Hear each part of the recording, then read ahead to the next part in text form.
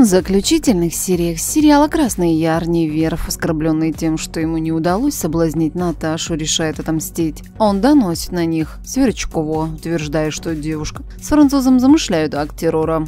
Тем временем Плахов начинает сходить с ума, ему кажется, что найденный золотой самородок светится. Испуганная Наташа поздно вечером идет к Никитину. На следующее утро полиция обнаруживает Плахова с помощником убитыми. Виктор убеждает Тамаева дать ему сутки на сбор информации перед тем, как отправляться в экспедицию за золотом. В это время он встречается с друзьями Самохваловым и Романом и просит помощи Тамаев. И его бандиты вывозят Виктора и Натали в тайгу, чтобы найти пропавшее золото Плахова. Один из них намекает, как только найдется самородок, их убьют. Самохвалов, прихватив с собой охотничье ружье, отправляется по следам Натальи и Виктора. Посмотреть заключительные серии вы сможете 2 февраля на телеканале НТВ. Подписывайтесь на канал и будете в курсе всех событий о любимых сериалах.